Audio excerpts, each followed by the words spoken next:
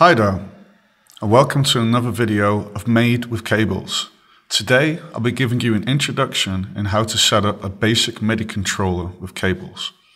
I'd like you to pause the video and just build what you see here. Okay, great, let's get started.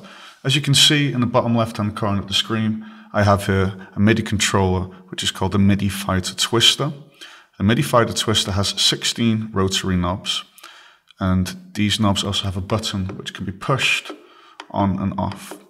So we're going to get started with just connecting this to cables and just uh, explaining some of the things that we can encounter along the way. First of all, we need to make this device visible to cables. This is really easy. So I'm going to press escape. I'm going to type in MIDI and then I'm going to look for MIDI input device, which is here. This now appears inside of the patch. I now go over here and I click device and I can see my device MIDI Fighter Twister has been recognized. I now click this. Now what's going to happen is MIDI events will come out as events from this port here. So I'm going to pull down and let's say for example, first of all, I just want to get the value of this knob as it turns. You can see it there with the lights. So now I'm going to get the op MIDI value, which reads a value from a MIDI knob. Now it's really easy with cables to get this stuff set up. So all I have to do is click the op, click on learn, and now turn the knob. And as you can see here, it's now already connected. Really fast, really simple, very easy. Here we see the note, here we see the channel. So now I'm going to pull down and I'm going to make a MIDI button. Now the MIDI button is going to happen when I press down on this knob here. So I'm going to click learn click it in. And as you can now see, we now have this. But as you can see, when I release it, we have the value false. When we hold it in, it's true. So there may be times when you want to do something called a toggle, where it doesn't go to false when you release it. So I'm going to show you how we do that now. So I'm going to make another MIDI value op right here. I'm going to do learn. I'm going to turn this, and I have the second MIDI knob mapped there. And now I'm going to grab another op called MIDI toggle. And I'm now going to click learn and I'm going to click the button in on the second one. And as you can now see, when I click and let go, it doesn't jump to false, which is toggle between the values. These are pretty much the only two behaviors that you would expect off a button with a MIDI controller. So why don't we get this data now and turn it into something useful? I'm going to just move this over here for a moment. So the MIDI fighter has values coming in which are just between 0 and 1. Now, we'll always need to get these numbers and map them into something more meaningful. So I like to have my patches a little bit tidy. Some people like to have their cables all over the place. But when you're going to be using 16 values later on, you might want to uh, get rid of a few patch codes of very simple things. So I'm going to make get the op called set variable. And this will basically allow me to send a value from one part of the patch to the other without having to use cables. And I mean actually the cables inside of cables itself. So I'm now going to click on set variable. I'm going to click here. I'm going to say create a new variable. Uh, I'm going to call this MIDI fighter knob 1. I'm now going to repeat the same for the rest here. So I'm just going to do the other knob quickly. So I go down here and I create a new variable and I call this mf knob 2. I now need to do the same for the buttons. So copy paste this and put it here. And now I want it to be a little bit more uh, obvious what's going on. So I click the set variable, I say create new one, I say mf button one. Now I'm going to copy paste this.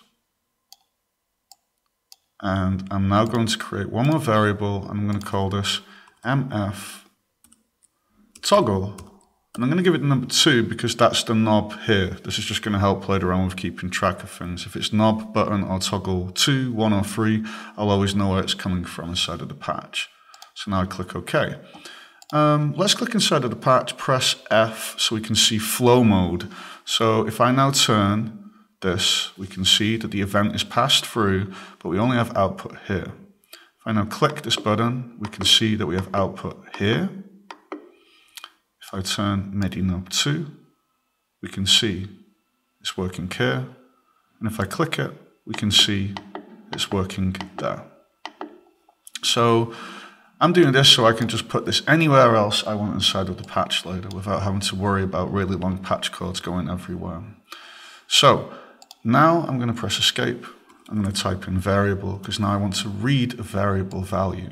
So I want to first use this one, uh, MIDI fighter knob 1. So I click variable, I go over here and I select MIDI knob 1.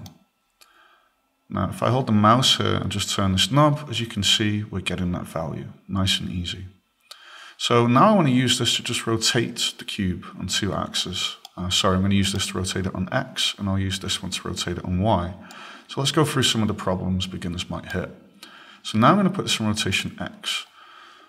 Rotation isn't going to really do anything because we expect values between 0 and 360 degrees, and this is 0 to 1.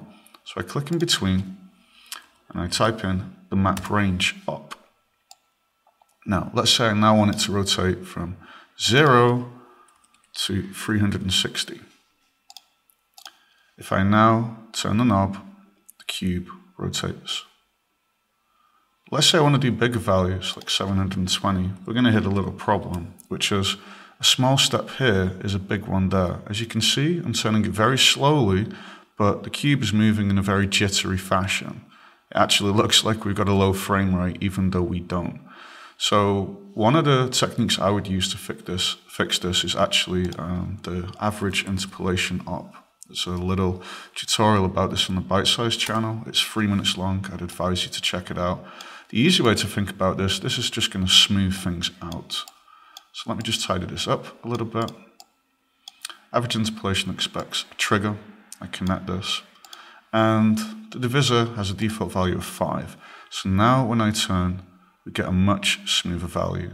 By even putting it on 2, all of a sudden, that jittery movement is almost eliminated. So I'm just going to put it on 4 for now. Now, the good part is I've now set up a chain to use for MIDI fighter knob 2. I can just select all of this, copy and paste it. I now click here on variable and I pick MF knob 2. And this is pretty much the only pattern you'd have to repeat to set this up for multiple um, connections from your MIDI device. So I'm now going to map this to rotation Y. And now by using this and this, I can move the cube together. So that's the basic part there with getting this set up. So this is nice and easy. Map range is your friend. Average interpolation is a great way to smooth out jumps from small steps to bigger steps. So let's just zoom out a little bit with our patch, make a little bit more space. So um, now we want to use the buttons. So let's start with a really simple one. I'm gonna get variable and I'm gonna grab MF button one. Now I'm to go here and it's outputting a value that's true or false. So there's a lot of things here you can try. I'm only to focus on one or two. So Boolean number is a handy one if you just want to have absolute values. So um, if false comes in, the output is zero. If true comes in, the value is one. So I'm just going to connect this to the material, just to the red, just to demonstrate it really nice and simple. So as you can see, I push in the button and here the red value of the cube is changed. So that's one possibility. Um, I'm now going to add a bool anim, which will animate between two values based upon a boolean value of true or false. It expects a trigger, so I'm going to put that here. Now, if I click on bool anim, this is the value when it's false, this is the value when it's true. So I'm going to put the duration just on 2, so it's easier to follow.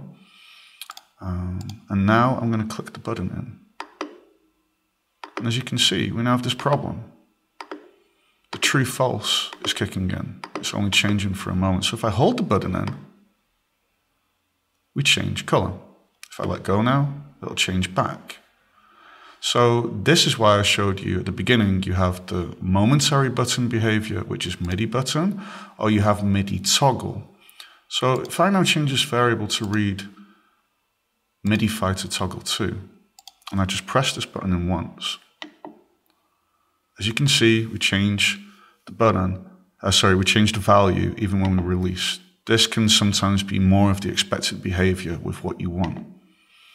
So this was the very basics of starting with mapping MIDI inside of cables. As you can see, it's a pretty quick and painless process, um, and it really lends itself to um, enabling you to do a lot of things. The last thing I want to show you, which I almost forgot, is this. Um, so I had uh, a really big patch, which I'll show you in a minute, where I have this whole controller here mapped in a way that I want. Um, and this, this becomes a little bit big and unwieldy. So you can always go here and you can select all of these and then you can say create subpatch. Now I have a subpatch here and I'm going to call it MIDI fighter main. Now, if I double click this, I go inside of it and as you can see, we have a patch. I'm just going to move these things over here. Um, as you can see, we have flow. And the best part is now we, we pretty much set that up and we probably won't want to change it anymore because we're just receiving the values here. And these values are constant. And what we want to do with them, that's what we decide over here. So now I can just put this out of the way. And as you can see, the MIDI values still come in. This is a really handy way to just be able to tidy up your patch.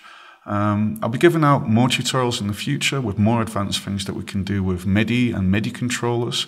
I hope this tutorial's been uh, educational and taught you a lot and showed you how quick and easy it is to start with getting a MIDI controller set up and running with cables. Thanks for your time. Bye.